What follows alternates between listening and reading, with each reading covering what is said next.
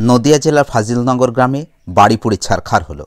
আজ সকাল নয় ঘটিকায় থানারপাড়া থানার ফাজিলনগর গ্রামে শিষ্ণবী শেখের বাড়ি পুড়ে গেল। পড়শিদের চেষ্টায় জল ঢেলে আগুন নিয়ন্ত্রণে আসলেও বাড়ি এবং বাড়ির আসবাবপত্রের ক্ষতি হয়েছে অনেকটাই।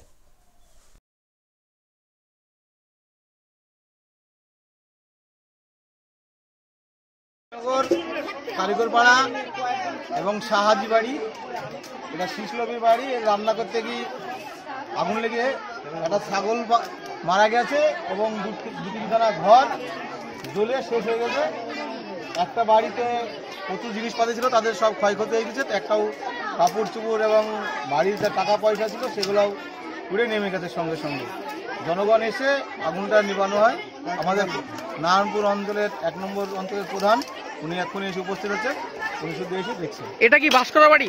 এটা বাস করা বাড়ি এদের আশেপাশে বাস করা বাড়ি রান্নাঘর থেকে আগুন। শুধু কি একটাই ঘর না অন্য না আরও চার তিনখানা ঘর আগুন কয়েক হাজার লোক ছিল। সবাই এসে আগুনটা নিবে ঠিক আছে।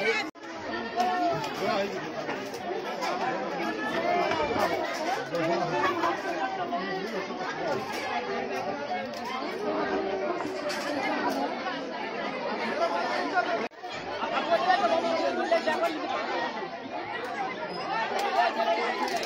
গাছটা কাঁঠাল গাছটা পাশাপাশি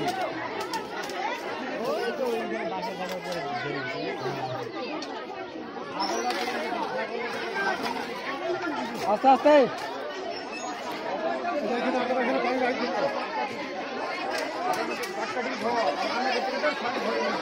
সাবস্ক্রাইব করুন আমাদের চ্যানেলটিকে ও বেল আইকনে ক্লিক করুন।